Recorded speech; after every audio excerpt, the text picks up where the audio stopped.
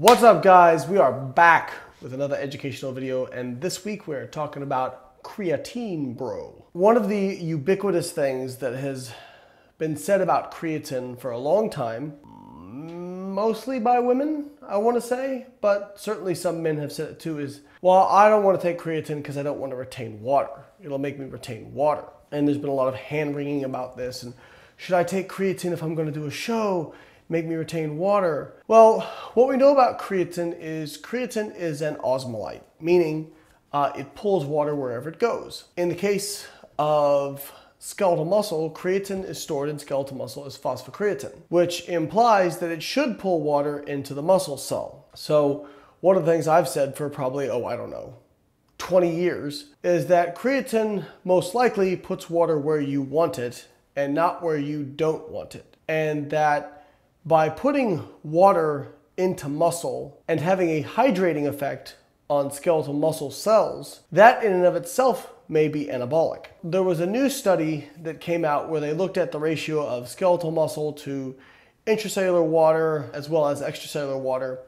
And what they found was creatine basically increased total body water and didn't really change the ratios of intracellular, extracellular, uh, and skeletal muscle water meaning it kind of puts it where you want it. Yes, you have more total body water, but since you store a greater proportion of water inside the cell compared to outside the cell, the absolute amount of water that creatine is going to make you retain is going to be greater inside the cell versus outside the cell. And this is supported by another study from 2003, which essentially showed the same thing that creatine increased intracellular water. This is important to understand because there are companies out there who will market to you and say things like, our creatine doesn't cause water retention. And they use these nebulous terms and they usually target it at women in particular. Let me just be clear.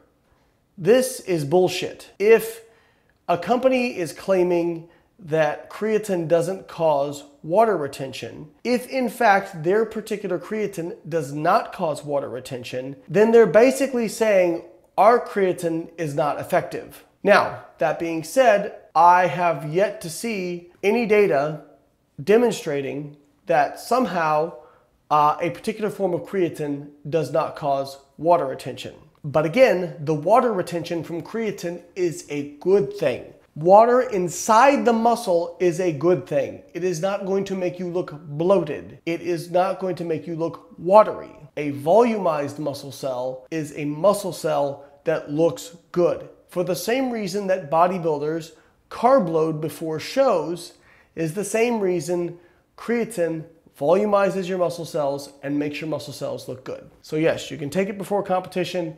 It's not going to make you bloated. What some people may more likely be reporting is GI discomfort with creatine, in particular, loading creatine. So if you load creatine, you're not absorbing all of that creatine. Now you will saturate your muscle cells faster. You can do it in about five to seven days if you're loading 15 to 25 grams a day. But there are increased reports of gastrointestinal discomfort with that because you're having some undigested or unabsorbed creatine in your GI, which pulls water into your GI and makes you feel uncomfortable. Once you move to a maintenance dose after a week, which is what most people recommend, that will subside. Or you could just choose not to load, just take your normal three to five gram per day maintenance dose, and in approximately four weeks, you will be saturated with creatine. So it's up to you how you want to do it.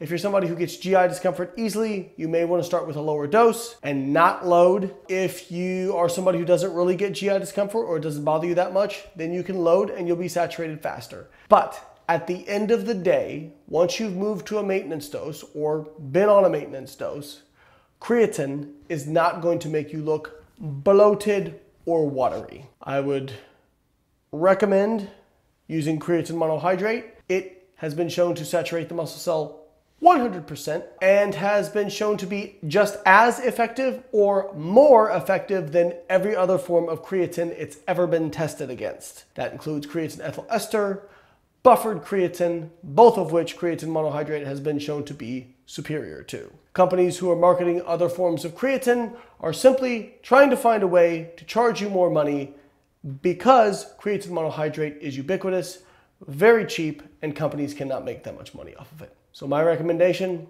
use creatine monohydrate and enjoy the gains. All right, guys, that's it for this week. Hope you guys enjoyed this video. Click the links in the description, including my new supplement company that's coming out. Yes, we use creatine monohydrate. The reason we use creatine monohydrate is for all the reasons I just listed in this video. But hey, you don't want to buy that? That's fine. No big deal. We try to make sure our products are backed by evidence, science, and properly dosed. The company's called Outwork Nutrition. Hope you guys like them. Hope you guys keep watching the video. Please click like and subscribe, and I will catch you next week.